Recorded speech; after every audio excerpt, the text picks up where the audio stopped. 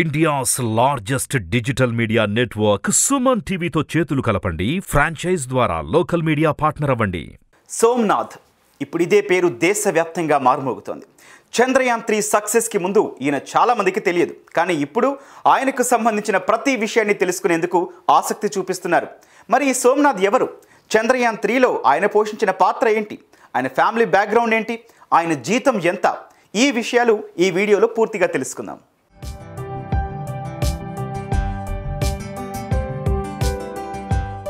సోమ్నాథ్ భారత అంతరిక్ష పరిశోధన సంస్థ ఇస్రో చైర్మన్. ఆయన అసలు పేరు శ్రీధర్ పనికర్ సోమనాథ్. పంతొమ్మిది వందల అరవై మూడు జూలై నెలలో కేరళలోని అలప్పుజా జిల్లాలో ఉన్న తురవూరు పట్టణంలో జన్మించారు. స్కూలింగ్ అంతా అరూర్లోని సెయింట్ అగస్టిన్ హై స్కూల్లోనే కొనసాగింది. ఆ తర్వాత మహారాజా కాలేజీలో ప్రీ యూనివర్సిటీ ప్రోగ్రాం చేశారు. టీఎంకే కాలేజీలో బీటెక్లో మెకానికల్ ఇంజనీరింగ్ చేశారు. అనంతరం Kerala university Indian institute of సైన్సెస్లో aerospace ఇంజనీరింగ్లో మాస్టర్స్ చేశారు. అలాగే ఇండియన్ ఇన్స్టిట్యూట్ ఆఫ్ టెక్నాలజీలో మెకానికల్ ఇంజనీరింగ్లో పీహెచ్డీ చేశారు. రెండు వేల ఎనిమిదిలో మద్రాసులోని ఇండియన్ ఆర్గనైజేషన్ ఆఫ్ ఇన్నోవేషన్ నుండి డాక్టరేట్ కూడా అందుకున్నారు.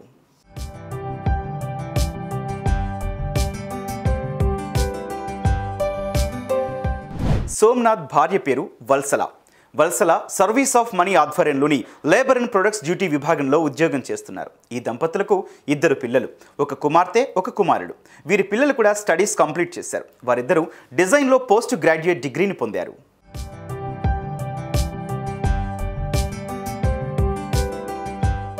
ఇక సోమనాథ్కు సైన్స్ పైన ఉన్న ఇంట్రెస్ట్ అతని తండ్రి దగ్గర నుంచే వచ్చింది. చిన్నప్పటి నుంచి సైన్స్ పట్ల అవగాహన పెంచారు. ముందు సైన్స్ అనేది ఒక సబ్జెక్టు మాత్రమే అనుకున్న సోమనాథ్ దాని గురించి తెలుసుకున్న తర్వాత ఇంట్రెస్ట్ పెంచుకున్నారు. ఆ స్ట్రీమ్లోనే ట్రావెల్ చేయాలనుకున్నారు. ట్రావెల్ చేశారు. సక్సెస్ అయ్యారు. ఇప్పుడు ఎంతోమందికి ఆదర్శంగా నిలిచారు. పంతొమ్మిది వందల ఎనభై ఐదులో విఎస్ఎస్సిలో చేరిన సోమనాథ్ తొలినాళ్ళలో పిఎస్ఎల్వి విభాగంలో టీం లీడర్గా పనిచేశారు. రాకెట్ ఇంజనీరింగ్ లాంచింగ్ వెహికల్స్ డిజైనింగ్లో నిపుణుడిగా పేరొందారు. రెండు వేల మూడులో జిఎస్ఎల్వి మార్క్ త్రీ ప్రాజెక్టుకు డిప్యూటీ డైరెక్టర్గా బాధ్యతలు నిర్వర్తించిన సోమనాథ్ వాహక నౌక డిజైన్ నిర్మాణంలో కీలక పాత్ర పోషించారు. తర్వాత రెండు వేల పది నుంచి పద్నాలుగు వరకు అదే ప్రాజెక్టుకు డైరెక్టర్గా కొనసాగారు. ఆయన హయాంలోని తొలిసారి కేరే ప్రయోగాత్మక మిషన్ను రెండు వేల పద్దెనిమిది డిసెంబర్ పద్దెనిమిదిన విజయవంతంగా నింగిలోకి పంపారు.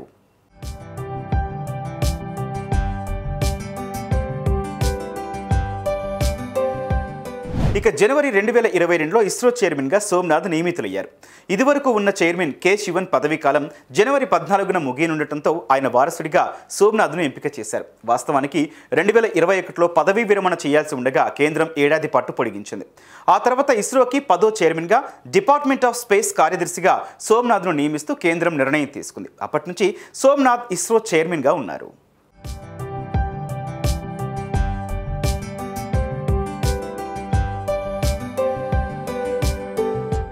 ఇక ఇస్రో చైర్మన్ సోమనాథ్ అందుకుంటున్న జీతం విషయానికి వస్తే ఆయన నెలవారీ జీతం రెండున్నర లక్షలు.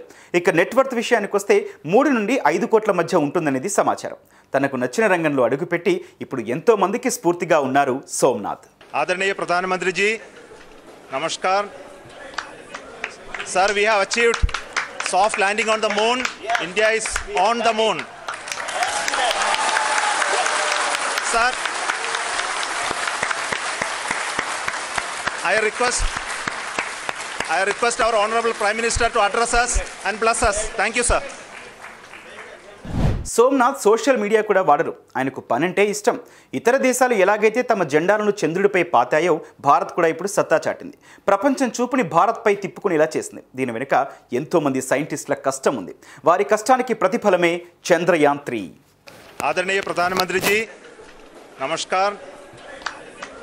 Sir we have achieved soft landing on the moon. Yes. India is on the moon. Yes. Sir,